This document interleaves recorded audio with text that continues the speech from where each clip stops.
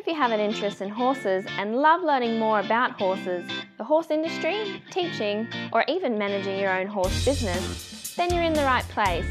We would love you to join us on our mission, which is to improve the lives of horses around the world through the education of riders, handlers, and trainers. So get comfortable, listen in, and enjoy.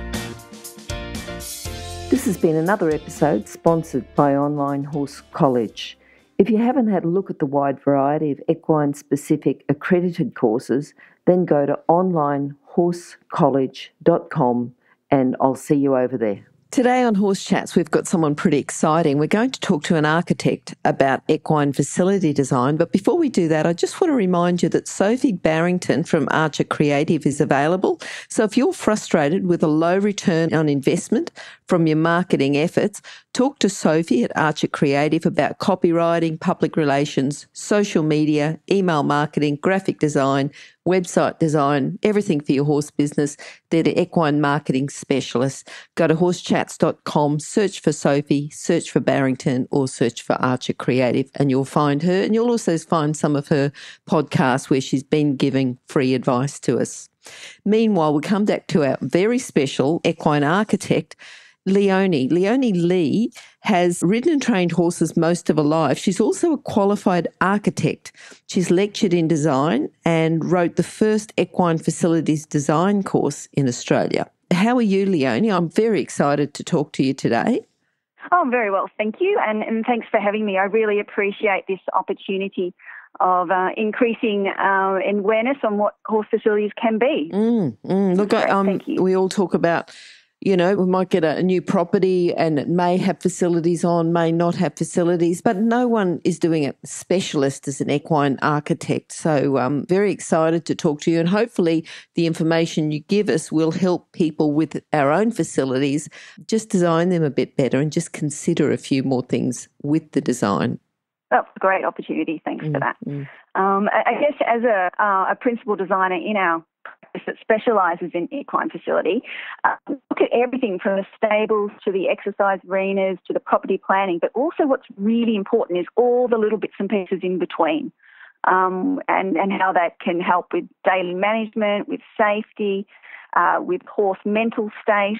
Uh, and so it's this whole big life experience we hope to celebrate. And, um, and our approach, we try and accommodate the behaviour and the physical needs of the horses from very much an evolutionary perspective. And I guess that's what sets apart yep. um, from other construction firms. Okay. Now, Leonie, we normally start off with a favourite quote. What have you got for us? Well, I thought something that is very relevant to me uh, is life is what happens to you when you're busy making other plans. Um, I think it's quite astute as well but um, it's got great truth to how my days unfold. Uh, I try and plan to nth degree, but um, no matter what you're doing or you get caught up doing, it's you get distracted and events get laid on. But I think in hindsight, we sometimes value those distractions or those redirections as um, very valuable experiences. So yep. yeah, that's my yep. life in a nutshell and what I live by. Yeah. Now, Leonie, I'm going to ask you about your life with horses, but I'd like you to think about more when did you put two and two together? Was it always that you were interested in architecture and interested in facility design, which is quite a big thing for a little kid, but you know, along those lines? Or was it one decision where you thought, ah, oh, right, I could do this? Oh, that's a great question. And I think um, it's something that I uh, because I've evolved naturally and, and, my ideas came together, that I, I, forget that it's probably something quite peculiar for people to, to combine. Um, I think there's only a handful of us worldwide um, that specialise in, in combining those worlds of architecture and horses. Um, and I guess it stems from my very early childhood. I had a passion for horses from, I don't know, seven, eight years old, from spending days on my grandfather's cattle farm in northern Victoria and uh, there was I was always very artistic and, and, loved being creative, but never really honed towards a career in architecture. But um, what I did relish was just being with the, the horses, uh, watching them move, um, groom them, look at their bodies, study the biology uh, diagrams in my picture horse books, and all of that um, was something that I continued on into my young adult life um, and going into adult riding club and, and a couple of horses trying to, to work through eventing. And uh, as I entered into my architecture degree uh, at Deakin University, I continued on with that. And when we came to final year thesis, we could pick a, a research project. And I was very involved in writing for disabled uh, as a qualified horse handler there, and I thought it would be a great opportunity to combine my two love interests there and then. And so I spent a whole year uh, developing the idea of a, an equestrian centre for all, so for people with disabilities and uh, for horses and for the able-bodied. And so it, it started from there. So from the the day I, I finished architecture, it just rolled over into an interest that I continued to research I think I was a bit of a frustrated vet, really, and so I, I got into my veterinary journals and tried to apply it wherever I could find an application to stable design. Um, everything from respiratory disease to ulcers and um, psychosis, and just looking at the connections constantly. So mm-hmm. it was quite, it was a very natural evolution, but um, yeah, I guess it, it's something that's become quite niche and and uh, an ongoing interest. Well, what did your lecturers say at uni when you said this is what I'm going to do? Were they? I mean, because there wouldn't be many people that would come along with the pro. No, did they say it was unique? No. It was, and it was really interesting. I actually had to educate them a lot on what a horse could be mm. and what a building needed to be. And and I would admit um, to now, in hindsight, I very much was blinded by my traditions and what I knew horse management to be in, and it was something that it wasn't through um, no fault of, of my family or who I was connecting with, but it was at certain points when I, um, for instance, I, I remember reading um, Stephen Budiansky's The Nature of Horses. Um, and, and, that really turned my ideas on their head about what a horse is and stop anthropomorphizing yes. what a horse is. And um, from my architectural experience at uni, um, that's what people tended to see them as, um, either dogs or humans, and, and how you contain them. But the bonus of, of being educated as an architect is that you're a problem solver. And mm-hmm. so you look at the first principles of what is the problem. Okay, so I'm accommodating an animal. It's this heavy, it's this shape, it does this kind of movement. It might be prone to these certain um, behaviours. And so you look at accommodating a an environment, a built environment around that that distinct problem, um, rather than going through a catalogue and looking at what's what's available and what colours and what materials. So it, it's a really interesting thing that um, my architect supervisors uh, could nurture um, just through that problem solving experience of, of general design, which was great. Um, yes, no, I remember my um, thesis supervisor. I gave him a book on horses at the end, and um, he said it was the first, it was the first and only book on horses he'd ever received as a as a gift of being a supervisor. So I do I do um, relish. And also, he the next year I became a, lecturer as an assistant lecturer under his guidance. So it was that's where I became um, my starting in uh, university as an educator, which was great and led to Marcus Oldham. So it was good, yep. good opportunity. Tell us something that you might have done in your final research mm-hmm. project that you might look at now and say, oh, I don't think that's the right way to keep horses. Ah, very much. Um, it would be isolated containers. Yep. Um, I saw stabling, as most traditional people do, as separating the animals for their own safety, for mm-hmm. our convenience, for the durability of their rugs, whatever the issue is, to monitor their feeding. Uh, and I didn't look at the consequences of what that does. Like complete separation, walls to the top? Yeah, in terms yep. of, yep. well, yes. Um, there might have been openings, I think there are openings to the, the central aisle. Okay. Um, and there were definitely openings to the external. But in terms of physical contact, there was mm. nothing, there was no room for allo grooming or shared um, muzzling or, or, all those sensory needs that I really feel are important to horses. Um, and when you have intensive stabling, um, all that is removed. And so there was that issue that is is one of my main um, drivers today. Yep. And although I know group housing isn't for everybody, um, there there are different ways that we can accommodate um, that that need for interaction that the horse has mm-hmm. for its mm-hmm. um, herd mates and, and, and the world, the world yep. greater, the greater world and the horizon.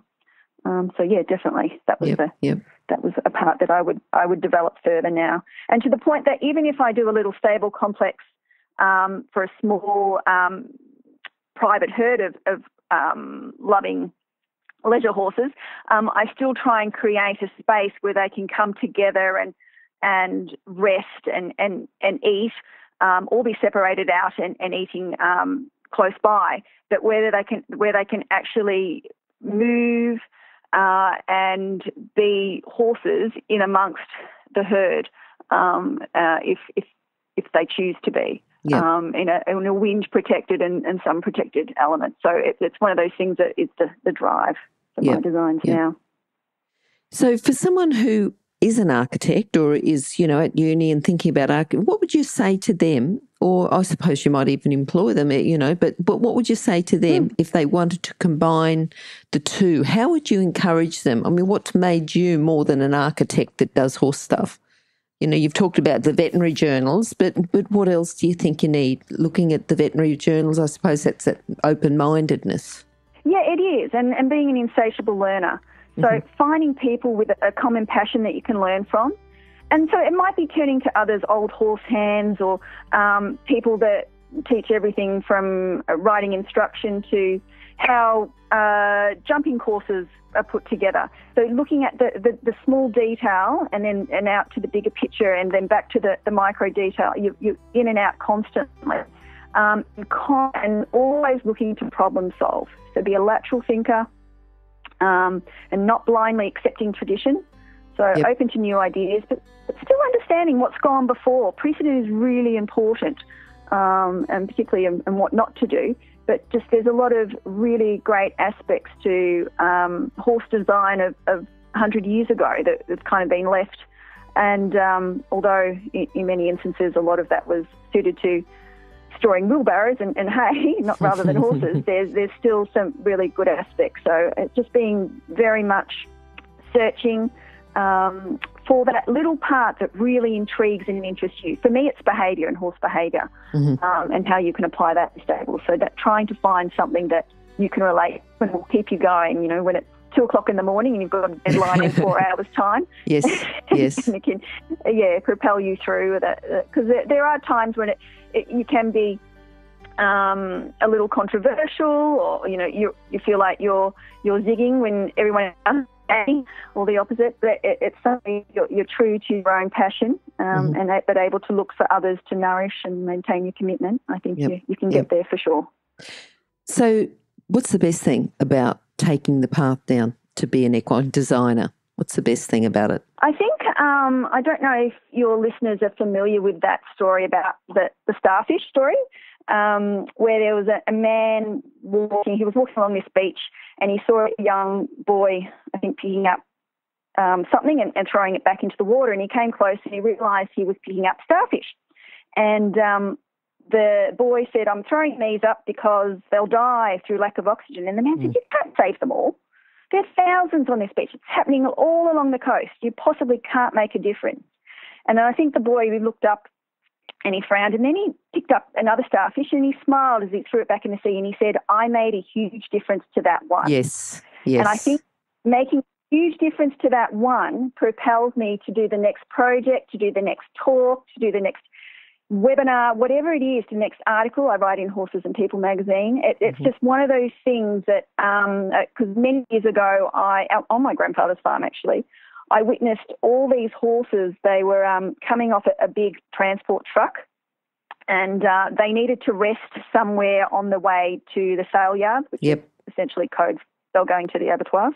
Um, and my grandfather opened up his farm for them and they were all running down the race and through lanes and everything, um, kind of for their last night. And most of them were still platted up uh, with the promise of a new life, but which was never yep. going to happen. Yep. And for me, I just thought if I one day, you know, and this was me about seven, eight, year nine, if I could make one of these horses, although I wanted to save them all, um, if I could make one of them reach their potential or to be at their optimum well-being, you know, in my own seven-year-old speak, that that would have been then, mm-hmm. that would mean the world to me. And I guess that's where what drives me now.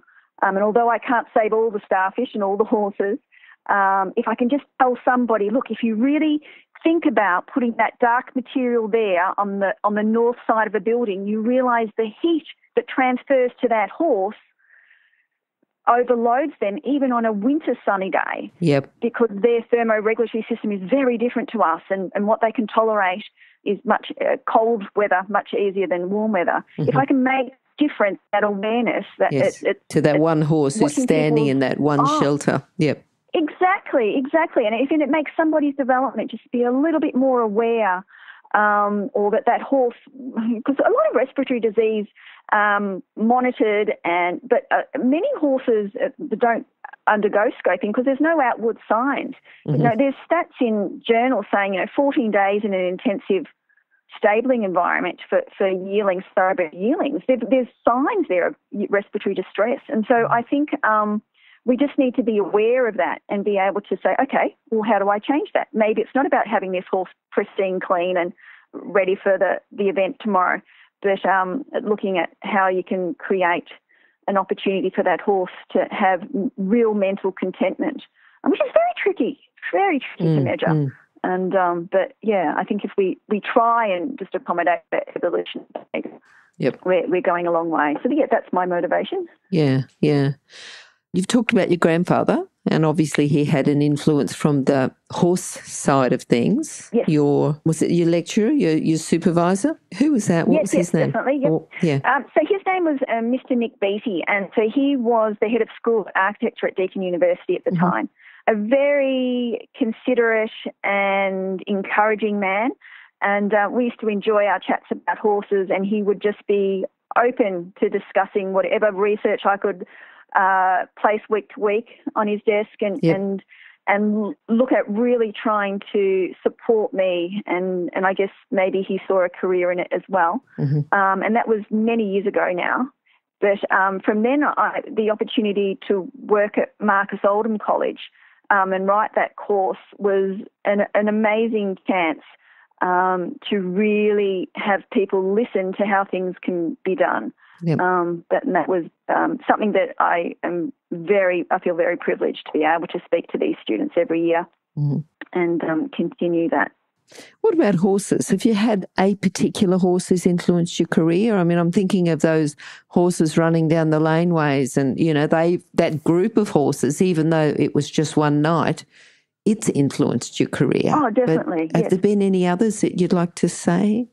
I've probably had oh, uh, about 10 horses over my life. Mm-hmm. Um, everything from off the track thoroughbreds that I crazily entered into to um, Irish crosses and um, my but my one of my most I guess proudest moment with my own horses is about 10 years ago I decided to take on a bit of a project and I bought a Clyde Cross yearling and it was to sell him on as a truly solid riding prospect. I wanted to have control over his whole education. And I was very much um, Andrew McLean driven, Monty Roberts, um, and, and looking at that whole preparation before um, he was saddled. And it, it, went beautifully. And though I was months doing long reining around the farms, looking at different letterboxes, and it was just uh, um, before I, I, actually sat on him for the first time, I, I laid on his back and desensitized him for months and it just went beautifully. And I guess that is something that I'm very proud of. And he went to a local hunt club and became um, a lead in that hunt club. And um, months later the new owner had complimented me on how good a job I'd done. And you know it was a really you know, I was a good trainer. When I told her it was my first horse I'd I'd actually had um, the privilege of breaking in um, she was May so yeah that was very much um, a wonderful proud moment but there's yeah, also my yeah. own son, his therapeutic riding. Yep. Um, my child, he's seven now, but back when he was three, he um, Henry's autistic and he was partaking in hippotherapy, which is hippos being the Greek word for horse, so therapeutic riding with his OT.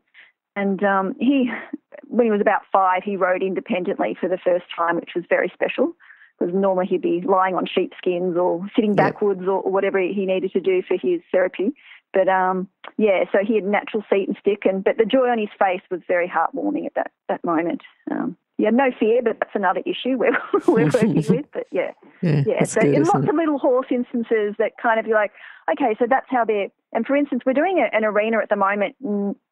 Equestrian centre, and there's the prospect of doing RDA in this arena. And so I'm bringing, okay, my experience with my son, but also my RDA horse handler of 20 years ago, that experience in.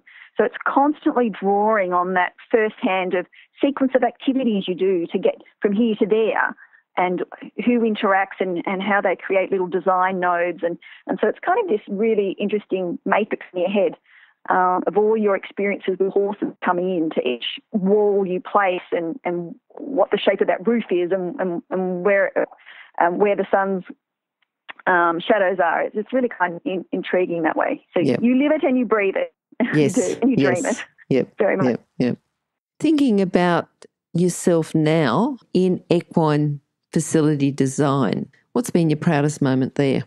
I think it was one of my first projects. Um, so I was a lot younger, a lot more um, less experienced, and not long out of university, and I landed the 70 horse development at the Freedman brothers, oh, racing, yep. um, yeah, racing um, royalty in uh, Rye, and that was an amazing opportunity. Um, and it just came by chance. We were doing another project, and we were fitting out um, a, a human-based project. Um, it was a, a, an office with some furniture, and we were ordering some furniture from a.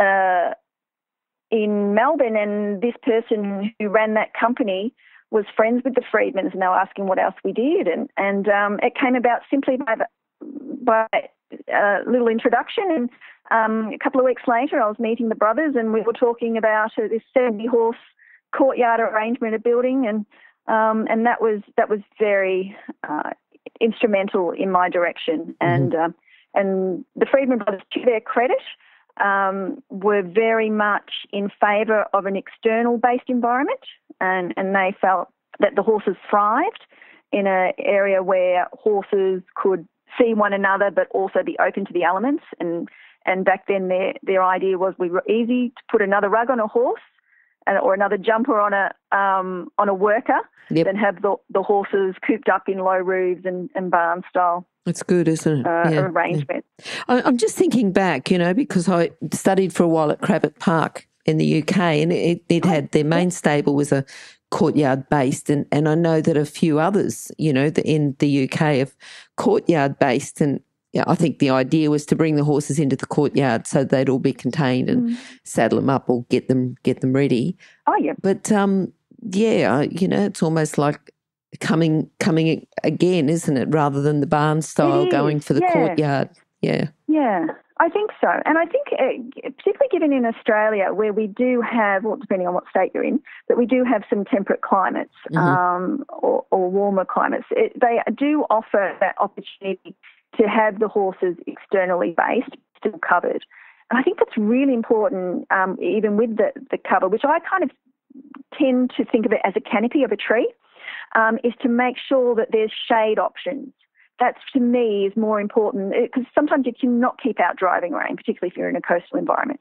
But if you can keep the horses from overheating. Mm. Um, it's really important. And, and in a, a, courtyard environment, um, obviously that means that you're going to have long extended roof eaves, and, and quite often people uh, position lots and lots of columns and posts to support that. And I think uh, in courtyard design, one of the biggest um, attributes of that experience would be to try and eradicate all those posts because they, one, they, they become issues if you're leading a couple of horses down or if you're passing or if a horse shies. And, and so there, there's um, problems with them all round. And so with the Freedmans, we turned the trusses upside down and supported the roofs without needing the columns, and, and it just opened it all up.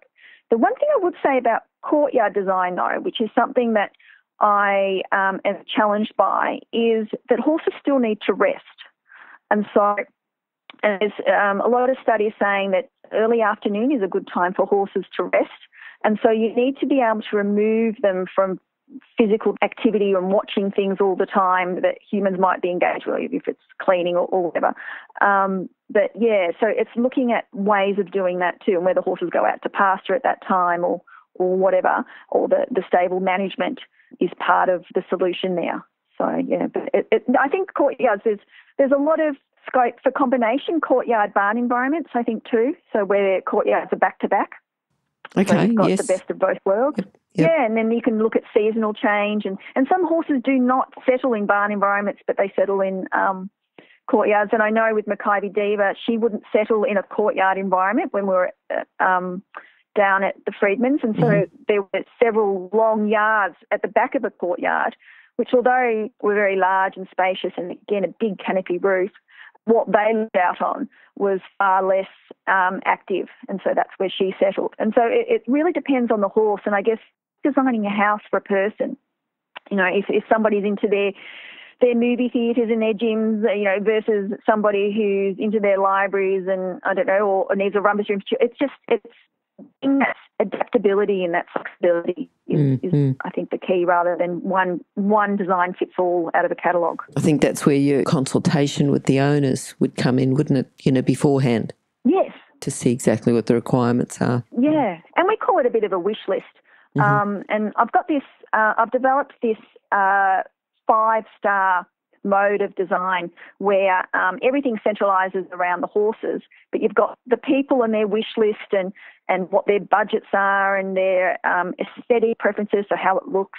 Um, and then you've got construction and materials, and that comes into their ideas as well. And it kind of all just simulates and um, and it, it's almost like um, it, it goes through this machine, and this everlasting gobstopper pops out at the end, and that's the design that you, you synthesised. It's interesting that you've gone to a five star and you're going back to the starfish story. Oh, that's really interesting. No one's ever, yeah. Oh, that's a really, I've never made that connection. Connection. Both of those are in my head. So, yeah, interesting. Mm-hmm. Thank you for that. I'll work with that and develop that idea. yes. yeah. Leonie, ulcers. What are you doing to minimise ulcers? Okay, so uh, a couple of things um, in terms of the, the scientific research and journals is one, obviously the foraging. So the horses, how they're evolved to to forage for so many hours of the day, um, head down, so that whole um, position, uh, which helps with drainage of mucus and, and dust, um, as well as digestion, um, can help. But also having, I like to create an environment where they have unlimited access to foliage, so your haze, um, and create that, that. So that's number one. Um, and I definitely do not um, support high hay racks or, or anything above chest height for animals um, that have evolved to, to graze on the ground. Um, as well as they can be an issue with getting hooves stuck, and I've, I've seen a horse hanging from one of those before, which wasn't very nice. Um, yeah, so um, so you've got that. So that's one side of it, and the other side is, I think, is to try and minimise the stress that the animal is under. Um, and again, this becomes tricky because uh, we obviously can't chat to them about it, but looking for signs um, in other evidence-based scientific studies where heart rates of horses um, are reduced when they are groomed by one another, when they see other horses, when they see externally what a noise is behind them rather than a chainsaw or a tractor happening in a in a place that they can't make visual contact and, and comprehend. And and we all know that that horse um, that adrenaline surge and, and and when the horse realizes that it's not in danger it can bring that down quite quickly. And and if we can try to minimize the chances of that happening and how that connects biologically with the horse's gut. Um, and and the stabling environment is very important. And just and constant access to the horses I think is, Mm, is very very important. And and, and simple things like um, the horse's vision is very different to ours and, and how it adapts to light. Um, and, and so putting them in, in dark places from light to dark, so if we're coming from the outside to a, a space that isn't very daylight filled um, and maybe relies on artificial lighting, um, it can be quite stressful for an animal. Um, and some, some horses habituate or desensitize quite quickly, but still there's that, that constant sensory um, challenge for them. So if we can have spaces that are, have even daylight, um, and, and simple things like that can really help with simple things like ulcers. Um, and just by creating an, an environment that um, is, is minimises stress. Um, although you know it's something that I need to delve into, do some evidence-based studies and research myself, and this is my future direction. Um, but in terms of all the indicators, would say that that would be um, advisable Okay. um, from Yep. every aspect of the built environment. Yep. Thinking about just to going out and looking at people's property, houses, state, you know, just just generally, and they might be just private owners, they might be other public places. What's some of the common faults that you see with their facilities? Um, I yeah, I think one of them is uh, very low ceilings. Um, for the the size of this animal, and whether you're talking about it, you know, even a pony, Mhm. um, to these large warm bloods, uh, that quite often things are built to a minimum, um, and you know, minimum height clearance. So when the horse maybe puts its head up high, it doesn't hit it, but it's simply reduces the the air change capacity and, and what's available up there for fresh air and possibly even how the, the natural passive ventilation works through the building. Um, so yeah, that would be definitely a common fault: too lower ceilings and too smaller spaces. Mhm. Um, and another one is uh, not thinking about the how horses behave um, with one another and what they need. okay. Um, so okay. isolating them, yeah, that would be Yeah, the, yeah. the big thing that needs needs addressing for sure. Sure. If you're an equestrian coach or a horse riding instructor, or even if you aspire to be one, have a look at the free video series for horse riding instructors on the Horse Chats website. Go there now, have a look. horsechats.com. Okay, now Leonie, have you written a book? No, not as yet. It's in it's in the making. Because I'm thinking, where where can people get ideas then? You know, to get ideas Yeah. about equine Yep. facilities, equine design. What, how can they do that? Have you got something you could recommend? Definitely. Well, I've, well, I've just completed. Yeah, I've completed a ten part series in Horses and People magazine. Mhm. So over the last couple of years, um, every couple of months, um, there've been great supports of my ideas, and so that's from. It starts at the history of horses and the whole idea of uh, history of horses and stable. Sorry, um, and how we culture and status has formed um, our domesticated looking buildings and now they're a little bit more agriculturally based buildings and and so it talks about all that the consequences of, of what we do and how we accommodate behaviour. So that's a, a starting point and they're available online if people don't have the, the physical magazines. Okay. We'll put the link to them in your page too at Horse Chat. So it'll be horsechats.com yes, yes. slash Leonie Lee and we'll put those details there. Wonderful. Yep. That's great. And I also, um, I'm a little bit slack on the social media side, but uh, I'm just about, um, I've launched my own page, Leonie Lee, and in brackets called the Equitect. Okay. So essentially equine architect and Equitecture Horse Facility Design is another Facebook page. And I'm also going to Equitana. I've been selected um, for the second year in a row to be an educator there, and um, which is wonderful. And uh, surrounding that whole horse festival, I've decided I'm going to offer some free uh, workshops on stable design. So if people are interested in that, um, they'll be in the Geelong and Melbourne areas. Uh, they can contact me uh, and on the Facebook or my email, and and um, we can go from there if anybody's. Oh, sounds. I'm sure. I'm sure that more. people will be. Yeah, I'm sure. yeah. Thank you. All right. Now, just in a few sentences, if you've got to summarise your philosophy with keeping horses and designing places for horses to live, what would you say? I guess uh, number one would be equine centric.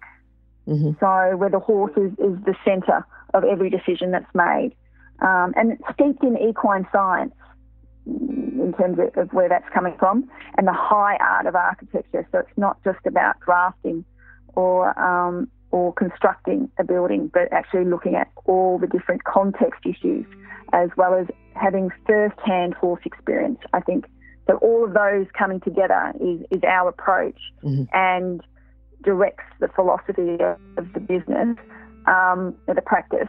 And I guess the days are, are behind us when performance in the ring or the track was your overriding focus. Um, and what went on in the stable was largely insignificant. So I think now having an understanding of horse welfare, and the, there seems to be a growing um, movement of that whole idea of, of natural progression. Um, I think lends itself to contemporary horse facility design beautifully, Mhm. and um, that's hopefully something that I can be a part of Beautiful. in the future. So, how can people contact you then? So my um, email is leonie at equitecture.com.au. Now, Equitecture is E-Q-U-I-T-E-C-T-U-R-E. Um, and again, like I mentioned, the Facebook, so I'm Leonie Lee and in brackets the Equitect and Equitecture Horse Facility Design. Um, so I've got lots of different um, ways there, as well as if you want to come and meet me at Equitana. I'm there on Thursday in Melbourne. Um, but yeah, you're welcome to, to contact me on the, Facebook if anyone's interested in different stories. And I think that's what architecture is about. And you mentioned this earlier about a, a consultative process with the client. Mm. I learn so much from horsey people. Um, and I love going to Marcus Oldham and hearing their stories, you know, particularly if they're international students. And, and you know, I had one student and her issue was dealing with tigers. I'm like, okay. Yes. That's a little bit yeah. different to, you know, we have snakes, but yeah. Um, yeah. And so I, I, I, welcome people's stories and ideas, and it's, it's very much a dialogue. Um, and, and every time I start a design, it's, it's from start, it's from everybody else's experiences that I've learned from um, that that directs it. And so, yeah, please get in contact me if you've got stories or questions, and um, we'd love to be uh, involved in, in, in chatting about it further. And those details will be on horsechats.com slash Leonie Lee or just go to horsechats.com, search for Leonie or search for Lee, L-E-E, and you'll find that Leonie, thank you. I think you're, you're, our first architect that's come on the show to talk about facility design. So we'd love to have you back again. And I'm sure that we've got a, oh, a wealth you. of information to give us. That would be oh, really good. wonderful. Yeah. All right. Thank so you thank so you. much. I really appreciate the opportunity. Thank that's you so okay. much, Glenys. Talk to you soon. Bye. Wonderful. Thank you. Bye. Now, if you're still there, you probably know that I'm absolutely passionate about education within the horse industry. That's why I host this podcast. My other venture is Online Horse College. Have a look now at onlinehorsecollege.com and I'll see you over there. Remember that our comments and instructions are general in nature and do not take into consideration your individual horses or your individual ability and circumstances. If you enjoyed this podcast, then please leave your comment below